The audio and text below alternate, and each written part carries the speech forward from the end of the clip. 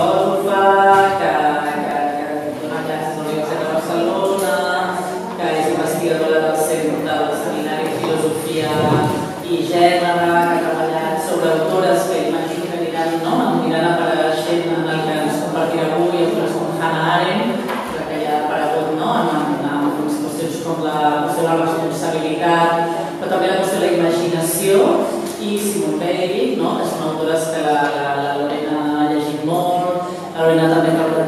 sobre la noció i els problemes voltant de la vulnerabilitat en Judith Butler, i així com a la iaia li havíem demanat si podia desplegar qüestions vinculades a vides vivibles, vides viscudes, el que li hem demanat a la, a la Lorena, com deia la Mireia, és que pogués parlar de justament aquesta qüestió de responsabilitat, que la, la iaia ja ha començat a parlar, en particular hi ha un projecte del qual parlarà la, la Lorena avui també, que està a, a, a l'inici de l'exposició de la Mireia, qual una cineasta que es defineix com a cineasta bisexual estadounidenca, Jill Goodmillow, va descobrir, a finals dels anys 80, a principis dels 90, va descobrir una pel·lícula de Harun Farokhi que explicava, una pel·lícula que tenia 20 anys, que explicava com durant la guerra de Vietnam als Estats Units s'havia fabricat un napalm que cremava millor sobre la pell humana, és a dir, un napalm que s'anomenava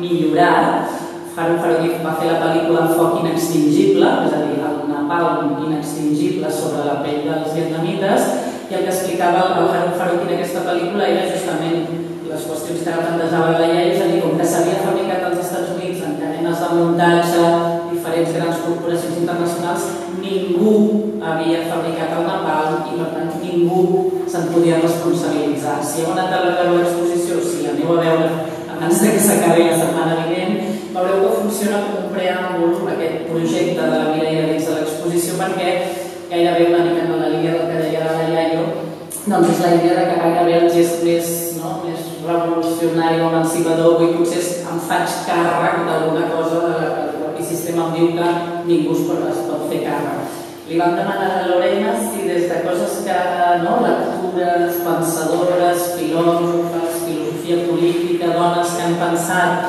les qüestions vinculades a la responsabilitat, també la ficció i la imaginació, és a dir, quines, no? Hi ha una exclusió entre la realitat i la responsabilitat de la imaginació o no, o són complementàries, com es poden ajudar, en particular doncs, Hannah Arendt i Simone Weil, i vam demanar que ens ajudés una mica a, pensar nocions que estan al centre de l'exposició com són responsabilitat, veritat i, ficció o, o imaginació. Ens fa molta il·lusió sentir-te. Moltes gràcies. A mi moltíssim l'oportunitat, no ha sigut com realment tal i que sempre he estat en molts moments intentant respondre a la vostra invitació i crec que per ser molt obedient he acabat no sent en absolut perquè necessitava eh, com exposar primer la tensió entre, veritat, responsabilitat i imaginació i llavors havia com, com deixat una mica eh, per la quantitat de pàgines que havia acumulat, cap al final la responsabilitat i m'ha anat perfectament que la llei ho introduïssi sobretot a través d'aquests autors no? que diuen que són amb els que estudiaria la meva reflexió. Llavors, eh, respecte a projectes que, que Mireia eh, exposa en, en, en la seva exposició, m'he fet sobretot càrrec del, del projecte sobre la veritat, que, que, que també té un estatut una mica problemàtica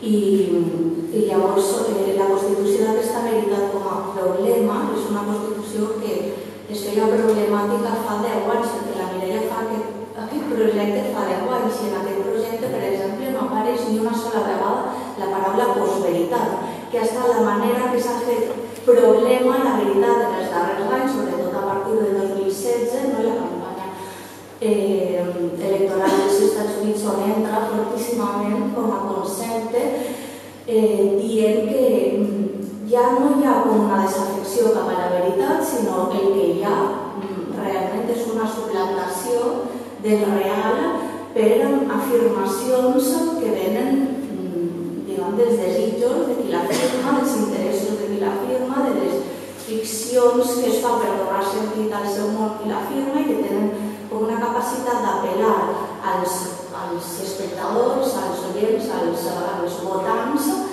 eh, perquè aquests votants ja no tenen la capacitat de distingir veritat de mentida. És a dir, que el poder eh, subversiu que tenia la veritat per desmentir les mentides, que són una part de la política i sempre ha estat així, la creació d'aparences, que tenien un joc problemàtic entre allò que se sosté i allò que no se sosté, però la veritat venia a dir aquesta aparença no se sosté i qui l'havia afirmava com a veritat pagava amb prestigi o pagava amb, amb vots, no sé, pagava amb alguna cosa, però ha arribat un moment que això no és així. Llavors, eh, ara ens trobem en, en aquest altre moment on hi ha hagut una destitució de la veritat i on coses que semblaven que estaven fora de mercat, fora d'interès, fora de valor en l'època en què pensava Mireia, per exemple, pensament de la Simone Weil, ara resulta que és un far per a moltes persones en, en un moment en què hi ha hagut un aprofundiment de la tesi pensada banalment del, del postmodernisme, de que tot és relatiu i llavors traduïble a tot el mateix valor resta valor. No? Llavors, eh, el que veia és que quan pensava en la responsabilitat, sembla que la responsabilitat estiga lligada, a fer-se càrrec del real i llavors a fer-se càrrec de la veritat, mentre que moltes vegades deixem a fora, o sembla que justament perquè hi ha aquesta tensió, eh, no pensem en la responsabilitat que tenim cap a la nostra imaginació, la manera que tenim no sols de ficcionar, sinó d'imaginar aquest món que és tan sumament complex que fer sobre nosaltres demandes de gran coneixement sobre tots els recorreguts aquests que estava explicant la Iaio, que fan només els aliments que estem prenent, és improposable, però sí que podem relacionar-nos imaginàriament en les vides que viuen aquelles persones que estan en situacions de màxima explotació perquè nosaltres puguem seguir vivint com vivim. No? Llavors, eh, per això vaig pensar que, que volia pensar una mica sobre, sobre la veritat, per mi m'ha estat com, com un problema, eh, però això ja vindria d'altres coses i vaig a llegir perquè si no me n'aniré allò on no vull anar. Val? Llavors, eh, en la secció a mode editorial del diari que forma part d'aquest entramat de peces, d'entrevistes, d'accions i de pensaments que constitueixen aquest projecte, s'escapó desnuda, un projecte sobre la grabada en Caracas, eh, 2011-2012, hi ha un disparador de veritats que fa de la veritat no només un problema, sinó un feix molt complex de problemes que l'artista, que ella, la Mireia, col·loca en l'esfera d'allà polític duel a Venezuela. Vull dir, el en un lloc on la veritat es fa problemàtica per les condicions polítiques Llavors, en aquest amo editorial, cada personatge que invoca, des del pare de la Mireia als filòsofs citats a les 12 persones entrevistades que estan preses i no ho estan, no? també les, quan veus les entrevistes les, les referències que aquestes 12 persones entrevistades van com desgranant encarnen una manera de posar-se en relació amb la veritat que està condensada en paraules. Sovint la forma condensacions de paraules és la de la frase lapidària. No? Sembla que obligava quan parlem d'una cosa com la veritat. La de la frase que sembla dita per ser gravada en pedra. Llavors, des de parlar de la veritat és trepitjar un terreny minat, que pot ser una reflexió, però ahir sona ja com no? és una veritat sobre la veritat. A qui busca la veritat mereix el càstig de trobar-la, que diu el pare de la Mireia, repetint a forma de saviesa popular una frase de Santiago Rossinyol, o no hi ha res més perillós que la veritat, que diu Hugo Chávez, no? pensant en aquell règim de veritat d'abans de, la, de la política post, post-veritat o post-factual que es diu. Després una altra és, no és trist que la veritat siga inabastable, és trist no combatre, diu la Maite Larrauri, reflexionant sobre el Michel Foucault, sobre el déu de, de, de contestar, no? de combatre. I després hi ha d'altres que són, mm, diguem que gaire com molt filosòfics, la, veritat és el fonament propòs de l'acció correcta. I aquesta és d'Armando Rojas Guardia, és un poeta que no us parlaré perquè és important en, en la reflexió de la, de la Mireia. La veritat és un esforç, diu el, el cura del viviment, la veritat és la relació perfecta entre allò que penses, el que dius i el que fas. Això ho diu un que està al Mani, que és un bar de Caracas. Jo he fet un viatge, no? una immersió a Caracas, mai he estat a Caracas, he estat aquí a Metrosodimon. I això, i sense desafiament no hi ha veritat, sense veritat no hi ha desafiament. Això ho diu el terapeuta desemparat.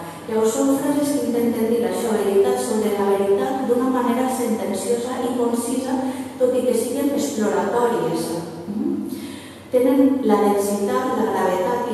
la precisió de les pedres tallades, de les làpides, com les 12 plaques de marbre blanc de Carrara que van il·lustrar la Mireia en 12 punts de la ciutat sense demanar permís, amb la certesa del perill al cos perquè és conscient d'on està, no? no està imaginant estar en un lloc que no està. És el monument fragmentar de la veritat, aquestes 12 plaques, làpides, lloses, blanques, amb la inscripció a la verdad, paréntesis, se escapó desnuda, monumento fragmentado, punto Caracas 2011, que les podeu veure a l'exposició una d'elles, que no està col·locada i llavors està per col·locar. Però la frase que dona títol al projecte, si es fixeu, no és lapidària, es va escapar nua, s'escapó desnuda, diu la Mireia, robant un vers del poema La desnudez del loco, que és d'aquest poeta veneçolà Armando Rojas Guardia, que alhora està parlant d'aquest que escapa nu, és una referència a la Bíblia, un noi, i que a mi ella li sembla que diu alguna cosa sobre la veritat perquè mm, pot descriure la seva natura fugissera.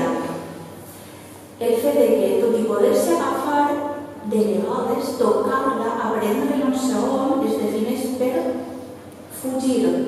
També perquè és poc exhibicionista en un moment d'exhibicionisme, és a dir, que corre nua a contracor mentre escapa, però que escaparia de tota manera si no estigués nua.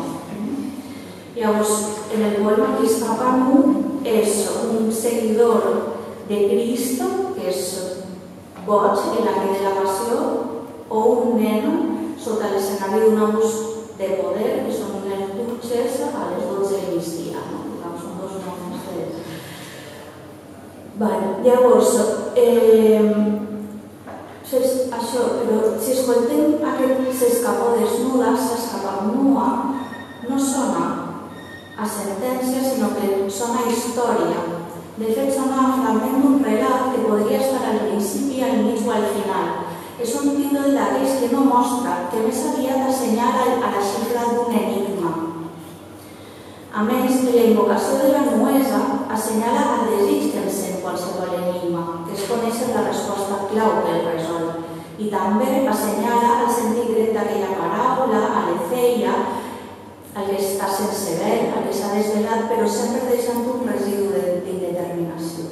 No? no és com del tot manifest és l'Armando Rojas Guardia, aquest poeta de la marginalitat, perquè és poeta homosexual, cristià, pacient psiquiàtric i està obsessionat amb la veritat, que comença l'entrevista enunciant com ha viscut a la seva vida la tensió dramàtica que hi ha entre la vocació a imaginar, de fer ficció, que és la vocació pròpia del poeta, però de l'artista en general, i la seva recerca de veritat que està a la base de la seva obra fet el compromís ontològic, el compromís amb l'ésser que diu ell tenir amb el lector, és que llegeix, aquell que llegeix, que està llegint la poesia autobiogràfica que ell escriu, està esperant un testimoni de la veritat.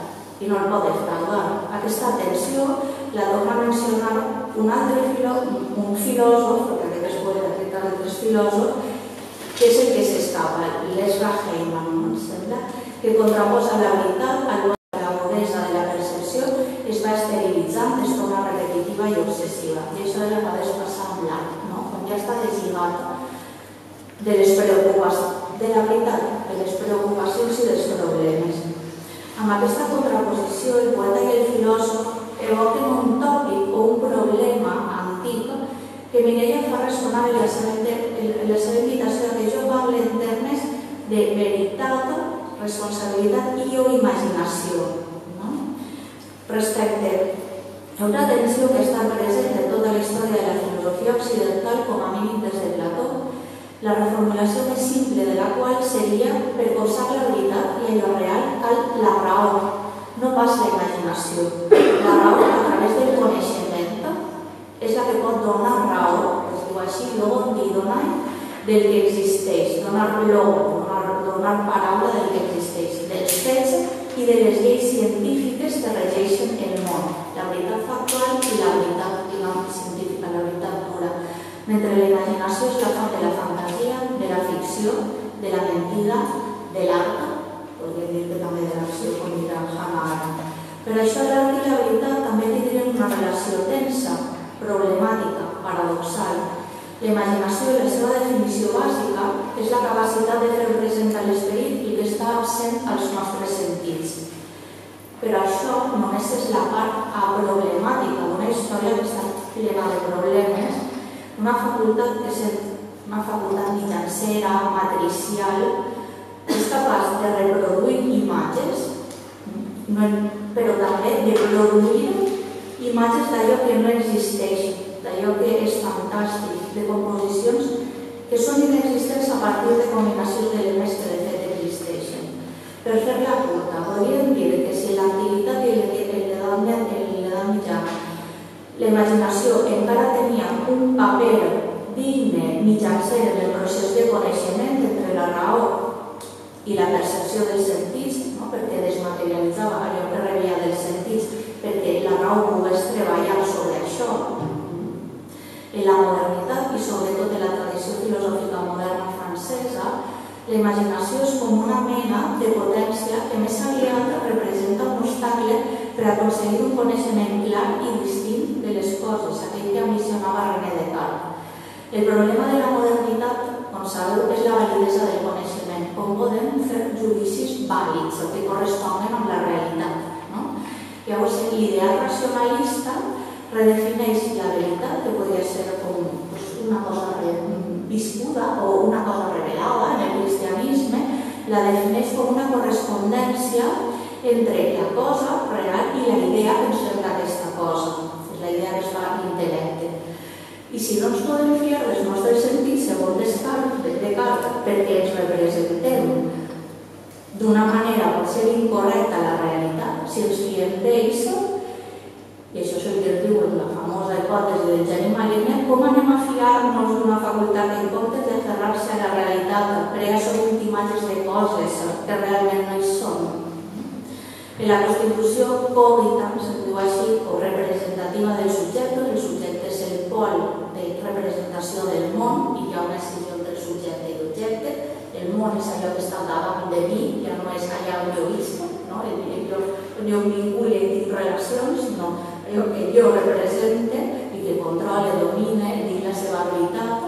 Doncs en aquesta Constitució la imaginació es contempla com una amenaça, perquè si sempre digues coses fal·laces ja no es fiaríem directament de la, la teoria, però de vegades no les diu, no? de vegades encerta veritats. Per això és definida com la bolla de la casa per Santa Teresa o per Malebranche o la mestra de l'error per Les Pascal i de vegades eh, és mm, això la responsable de que puguem tindre relació amb veritats que són de l'ordre sobrenatural. Això és el que passaria, per exemple, amb Espinosa i que alguns moralistes francesos eh, recollirien, no? la, la revelació, per exemple, de les veritats divines als profetes.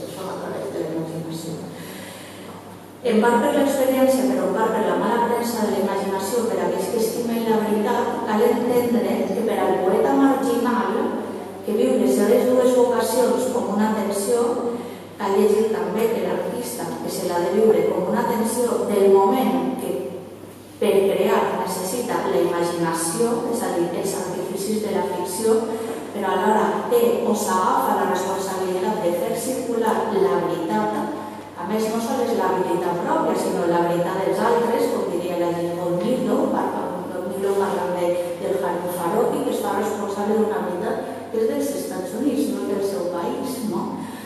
Doncs, eh, i que a més és una veritat que parla de la desresponsabilització. Això té molt a veure també en com la Simone Weil es fa responsable de lluites que no són les seves lluites més immediates. La guerra civil espanyola, està passant d'Alemanya al 30, no al 39, no?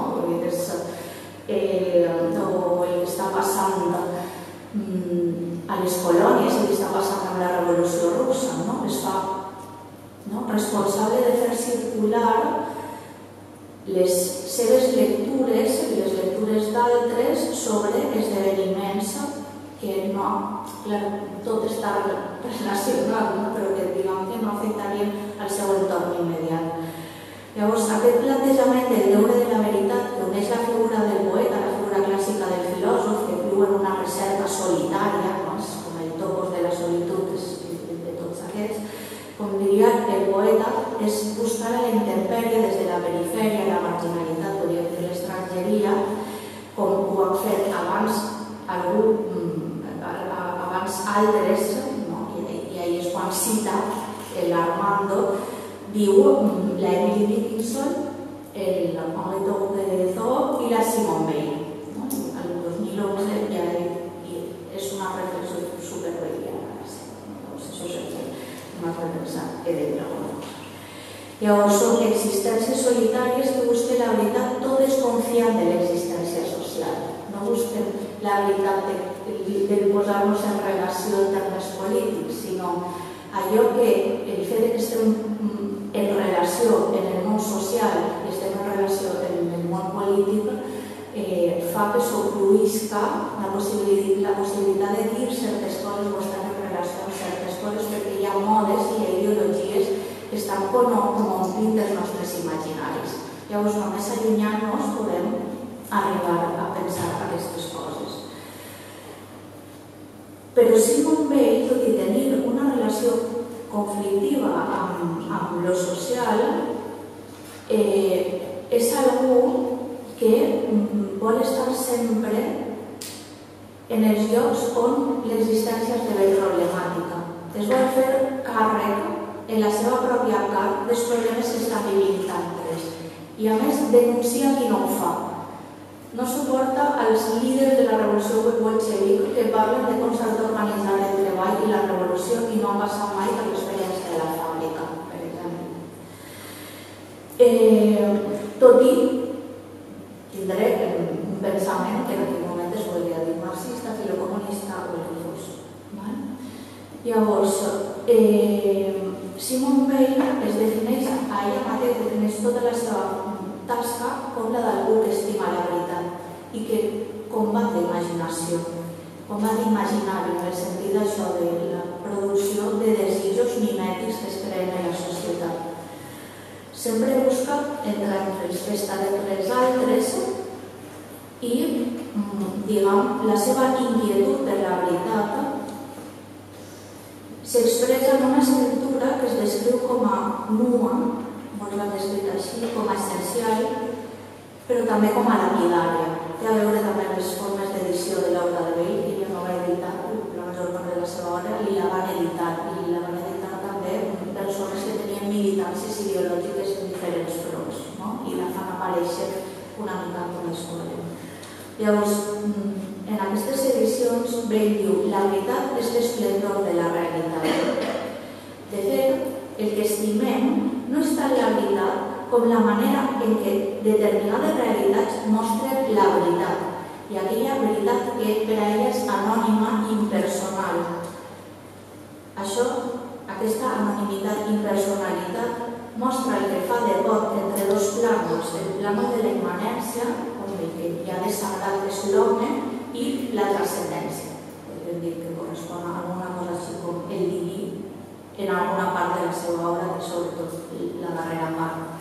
Com en les plaques de la Mireia, potser no s'entén el sentit d'aquestes revelacions, d'aquests esplendors de la realitat, però són revelacions, esplendors que fan bé a l'ànima des que, com amb les plaques, s'hi aturen, encara que siga un moment a mirar-les, fins i tot des de la perplexitat i no entendre el barris completar o calia, perquè assenyalen aquest, aquesta forma de formular a una fora en llocs on fa molta falta una fora, perquè estan abandonats a si mateixos, estan clausurats en la seva marginalitat. No? Llavors, la perplexitat i, no, i el no entendre pot fer bé, el pensar que hi ha fora alguna cosa, no?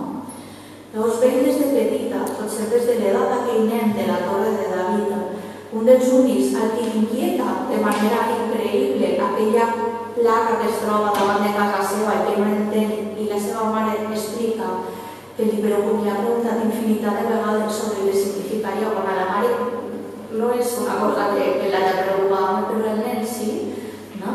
Doncs Abel també de petita tenia la inquietud en el sentit en que poder, es pot traduir la epimerella, la cura de si en Foucault, per inquietud i per cura.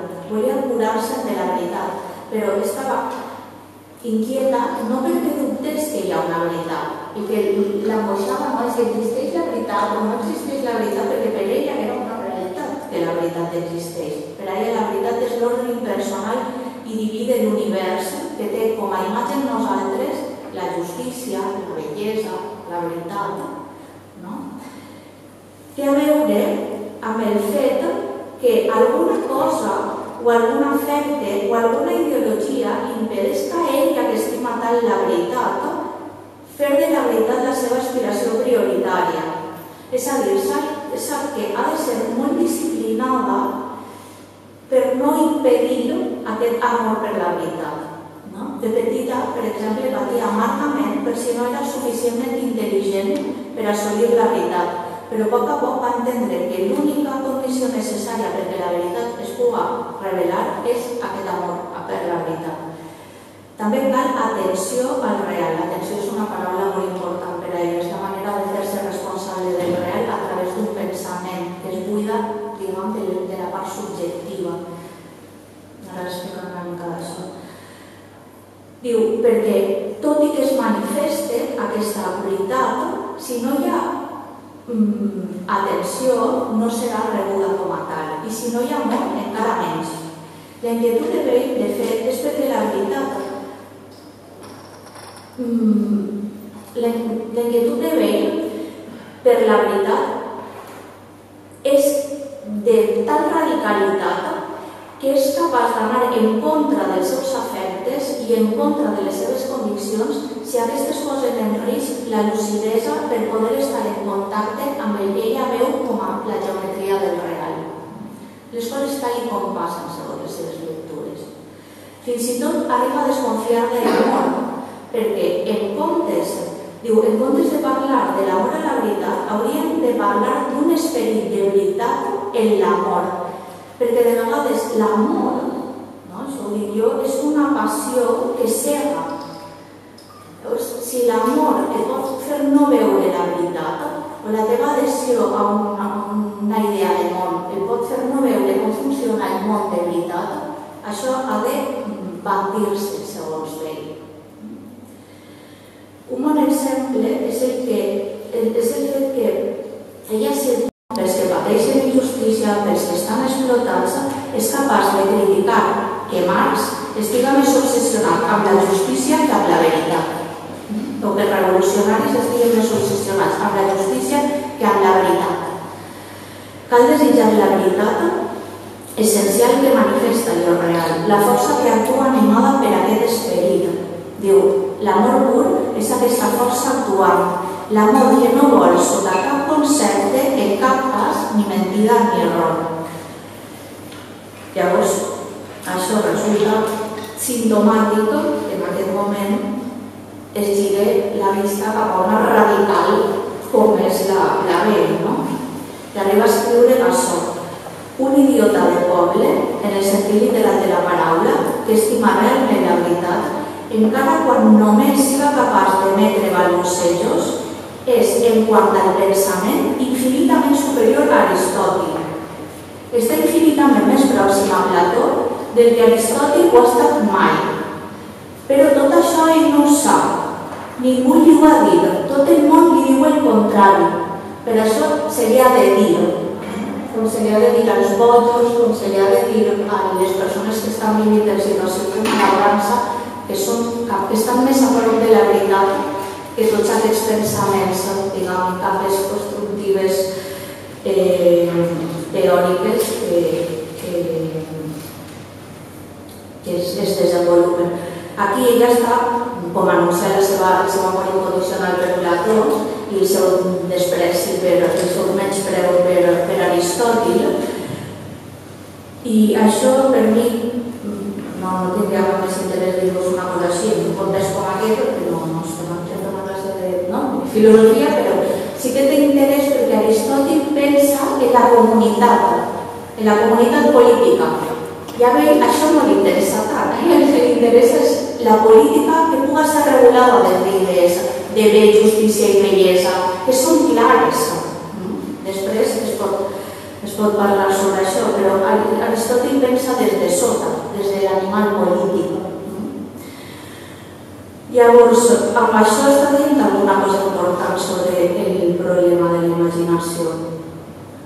Però sobretot diu la seva veritat sobre l'amor la veritat, amb la idea que veia la seva responsabilitat cap al que ell anomena les necessitats de l'ànima i les necessitats del cos. I aquí volia dir una cosa en referència al que ha dit la Iaio, perquè per a ella, el, com estan plantejats els drets humans, és, és erroni. La qüestió dels drets en general, si no hi ha de fet un sentiment de l'obligació que tot ésser humà ha de tenir cap a el fer possible la satisfacció de les necessitats aquestes de les quals has parlat tant del cos com de l'ànima cap als altres. Només sentint aquesta obligació, els drets humans tindran algun sentit, perquè si no, no garanteixen res, no garanteixen res, si no s'adonen de l'existència real d'aquells éssers humans. I ja diu que no tot el món els és donat la possibilitat d'entendre que els altres i les coses existeixen. Només aquells que fan atenció a aquelles situacions extremes i per fer atenció a aquelles situacions extremes ha un esquilçament de l'ànima, perquè a ningú, per molt que nosaltres parlem de la vulnerabilitat, que la vulnerabilitat tinga com un sentit positiu, la vulnerabilitat fa basar. Ningú pot pensar en la vulnerabilitat que la vulnerabilitat dels altres. Així que no relacionem tan alegre amb la vulnerabilitat, perquè si no, no haurà servir de res, no haurà reorientat la nostra imaginació cap a cap lloc. Mm? Això és el que pensaria d'aquest moment. Llavors, estem obligats a garantir les satisfaccions d'aquestes necessitats, no només de les persones que tenim al voltant. La nostra responsabilitat en aquest sentit no està acotada només a les persones sobre les quals nosaltres veiem que les nostres accions tenen una repercussió. És una responsabilitat il·limitada perquè és respecte a totes les persones que les nostres accions de fet estiguen a l'altra part del planeta sí tenen una, una, una repercussió i normalment? Llavors, eh, això sí que se revela a, a ell d'una manera molt punyent l'impacte de la força de l'univers en l'ús vital de l'existència, però també de les accions que tenen els homes respecte a aquest univers, perquè li tenen tanta basada a la violència i a la força que s'han de possessar aquesta força i aquesta capacitat de violència per poder garantir la seva existència i per això exploten a les altres.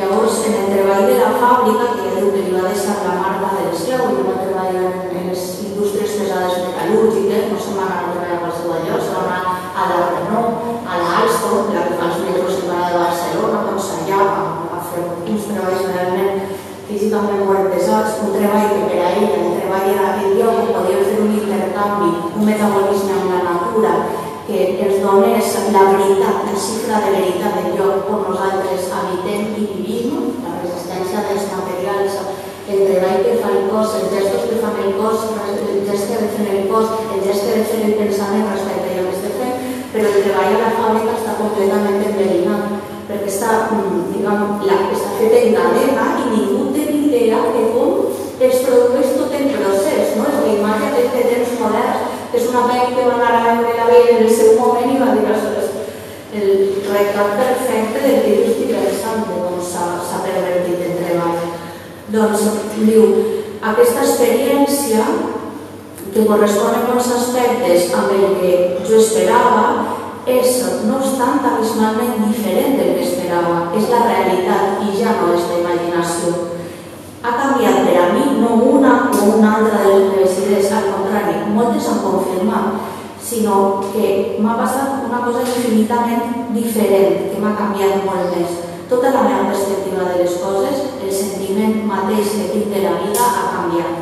I això també és aplicable a l'experiència de la Guerra Civil al front d'Aragó, que veu com l'abús que fa també el bàndol, el qual ella està compromesa sent una pacifista que en principi s'oposa a la idea de fer una guerra, se sent incapaç de no unir-se a la columna d'Urruti, al al front d'Aragó, comprometre's en primera persona en aquesta guerra perquè diu que si no se sentiria moralment, moralment eh,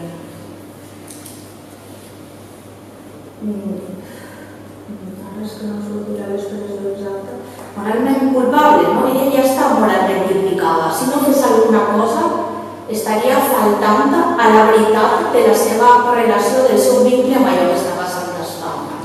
I que ella celebra, social ella la celebra, però després acaba, acaba com, com horroritzada de l'ús de la força i a partir d'ahir fa la seva teoria de la força. Val, llavors, eh, diguem que el concepte essencial que la tallant coses és el concepte de, de malaurar-se, que per a ella no és un, un patiment, el patiment és un dolor donat, que es pot transformar en alguna cosa física, veritable d'experimentar, i el que hi ha de suplement d'aquest dolor fins i tot també es pot transformar fàcilment en alguna cosa física, hi ha poc imaginari en el patiment. Val? Mentre que en, en la malaurança és un esquinçament, mm, diguem, és una condició de, de ferida en les tres parts que conformen l'ésser humà, la part física, la part psicològica i la part social. No hi ha malaurança veritable, diu el pell, si no hi ha degradació social, és a dir, no s'expulsa al marge de la societat a aquests individus i no hi ha consciència d'aquesta degradació. Un malaurat no és malaurat si no té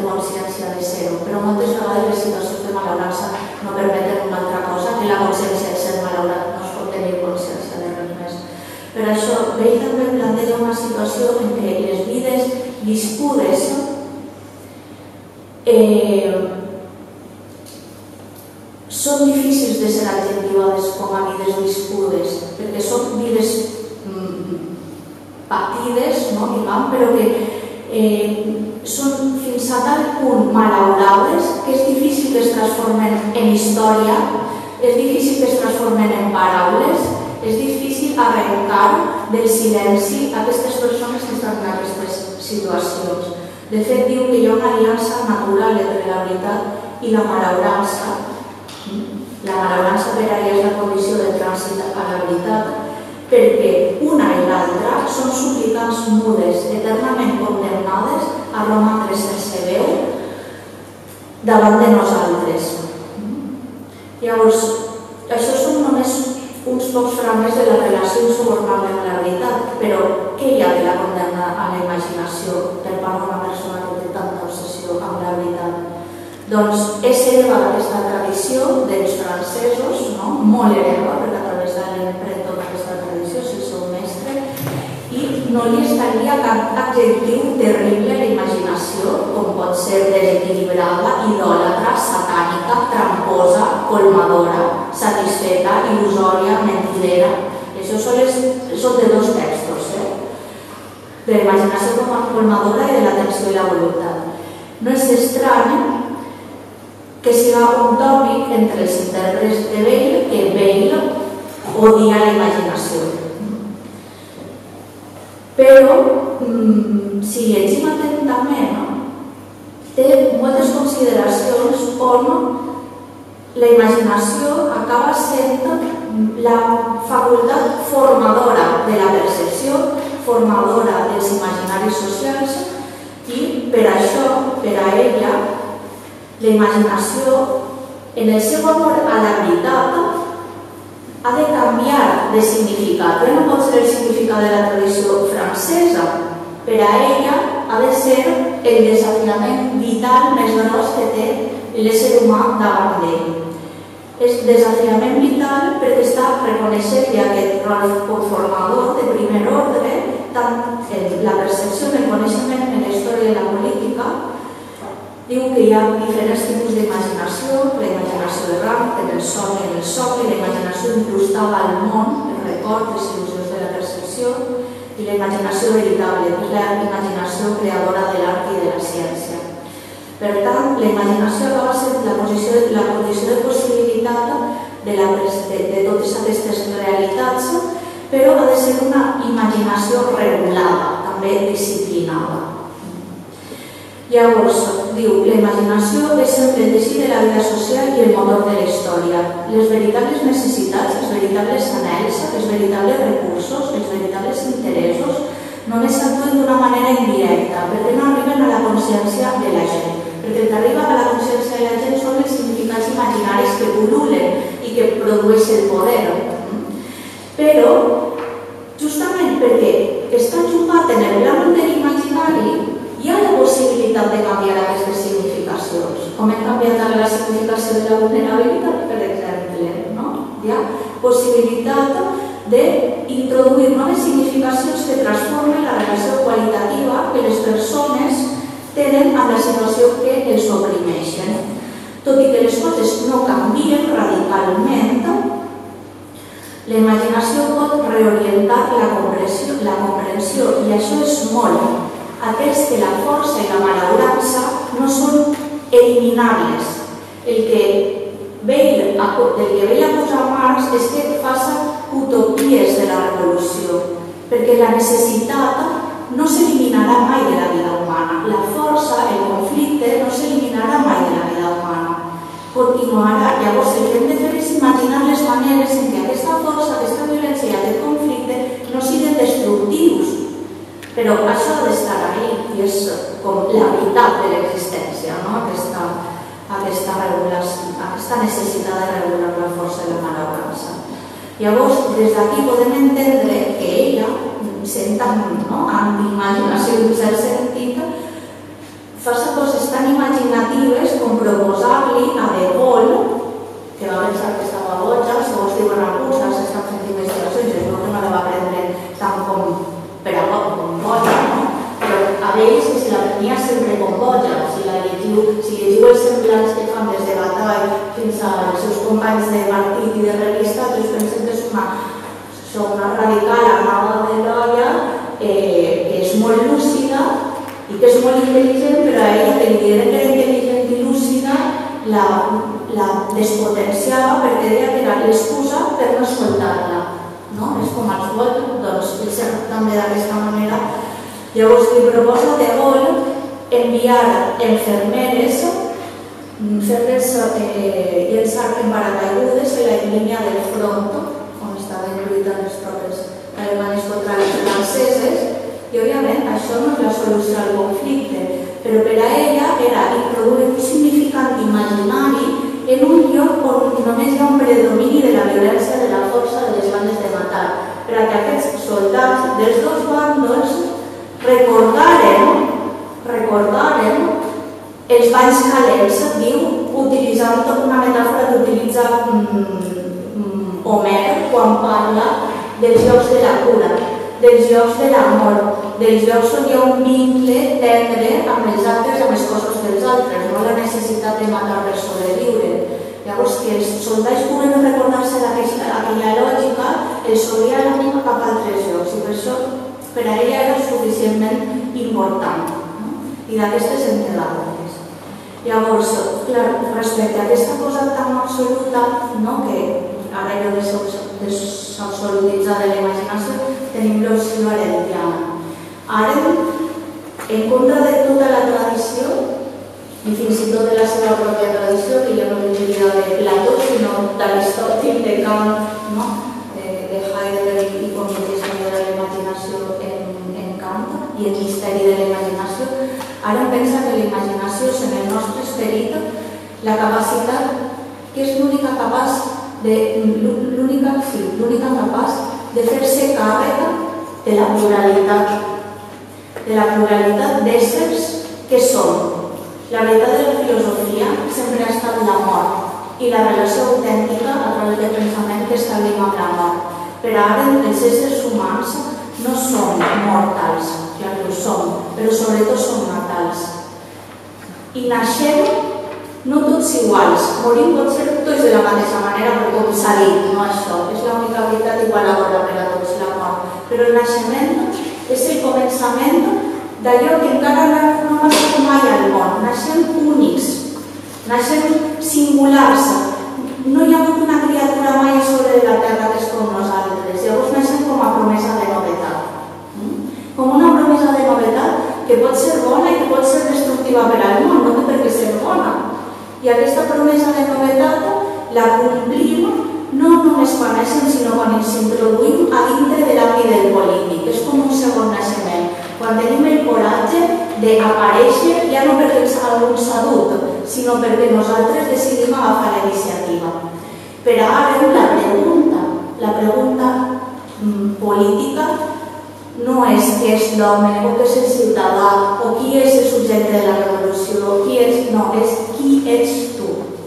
I jo crec que aquesta és la pregunta de la Mireia, a través de tots els seus projectes pot utilitzar la seva perplexitat front al concepte de veritat o els usos de la veritat de l'amor del lesiva, però al final el que està preguntant és qui ets tu. I aquelles persones que han tingut vides viscudes, no són les vides vivibles i que no raonen en termes de drets, que raonen en termes de creativitat i de fer a més límits, no? que és una paraula científica segons Bale, acaben podent, podent viure la seva vida a través de, de donar-se la possibilitat de respondre a aquesta pregunta, no? a la de qui ets tu. Perquè no, jo crec que aquestes dones que estan dient totes aquestes coses potser no sabien que havien... L'autoconeixement és molt complicat i de vegades no té cap interès, no? és el que vindria a dir ara, són els altres que es coneixen, el coneixen quan tu et mostres no? i el revelen a través també de la reflexió del relat qui tu ets. Doncs jo crec que aquestes dones també mm, són capaces de, de viure a través de les històries que han de relatar per a tu, igual que aquestes amb la Joana deia, és que ens flipa la capacitat de discurs que té el taxista, la revolucionària, quan li preguntes per la veritat, és que potser no havia, però es posa en, una relació de veritat amb tu que exigeix dir qui ets. Per això em sembla que és fantàstica la primera pregunta, Silva. Per què has acceptat fer no? com una obligació? Jo crec que ho deixaria amb coses més a dir